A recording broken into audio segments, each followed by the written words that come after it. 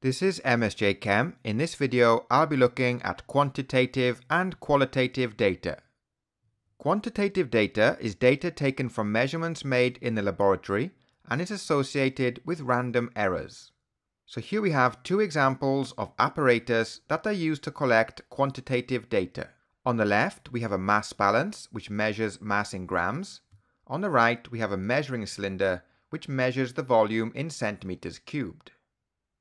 Qualitative data includes non-numerical data obtained from observations, not from measurements.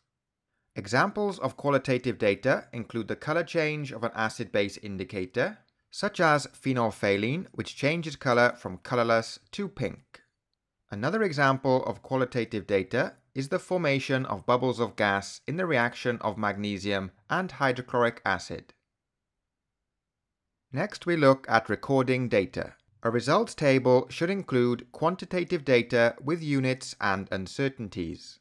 In this results table, which is for an acid-base titration, we have the initial volume of sodium hydroxide, the final volume of sodium hydroxide, and the total volume of sodium hydroxide. And in brackets, we have the uncertainty together with a unit of measurement. Quantitative data should be recorded to the appropriate precision. For example, a burette can measure to two decimal places, so all the values in the results table should be recorded to two decimal places.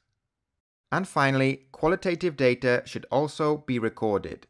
In this results table, the color change with phenolphthalein indicator has been recorded for each trial.